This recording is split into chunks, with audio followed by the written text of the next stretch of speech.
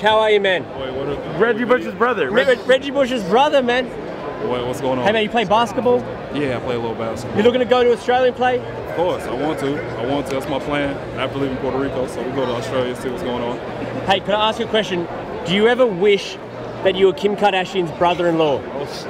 Never, never, never. I never really liked her, so. You didn't? No, not at all. Why not? No, she was she was too much. She was too. She was too much for the family. We couldn't. How, how so?